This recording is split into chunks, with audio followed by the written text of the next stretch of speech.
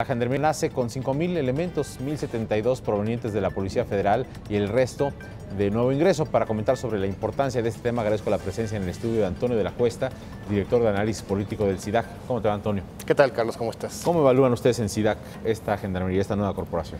Pues mira, creemos que llega un poco a destiempo, sobre todo porque había sido una de las promesas de campaña del presidente Peña. Pensábamos que, bueno, iba a ser parte de ese eje troncal de su estrategia de seguridad. Se tardó. Bastante, y creo que eh, probablemente no vayan a cambiar demasiado las cosas. Por supuesto que es un cuerpo de élite que se incorpora a la Policía Federal, eso no le hace daño creo que absolutamente o sea, va a, nadie. adscrita a la Policía Federal. Es una unidad de la Policía Federal eh, y además con un grado de especialización superior al resto de las unidades. Va a tener un, como ya lo mencionaban en el reportaje, de alrededor de 5.000 eventos, todos están en un rango entre los 30 y 34 años de edad, ese es más o menos el promedio, eh, y como insisto, el grado de especialización es importante, hay nuevo equipamiento eh, y hay que darle un, eh, pues un beneficio de la duda, ¿no? En sí, este, qué, este qué desafortunado que tengamos que decir esto, porque se ha hablado en diferentes momentos históricos de la historia reciente de México al respecto de que demos el beneficio de la duda. Creo que es cierto, pero es que dudamos mucho, ¿no? Los mexicanos de la efectividad eh, incorruptibilidad de las, de las policías. Es terrible, ¿no? Pues es que la incorruptibilidad está, creo que, cuestionada en todos lados, no nada más en las policías, está en la institucionalidad de este país.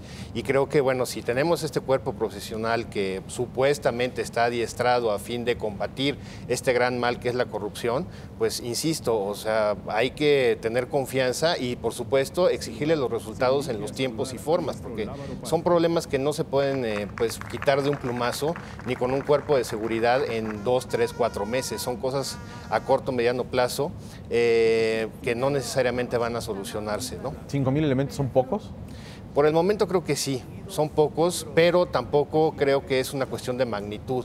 Es una cuestión de, mucho se habló de la restitución del tejido social, eso es a muy largo plazo, pero como te repito, a corto y mediano plazo, creo que este cuerpo de gendarmería tendría que ir creciendo paulatinamente, pero también crecer de manera inteligente, es decir... Crecer en, como en... para que absorba a la Policía Federal la, la, vaya, digamos, desplazando un poco. Ha perdido credibilidad esa institución, ¿no?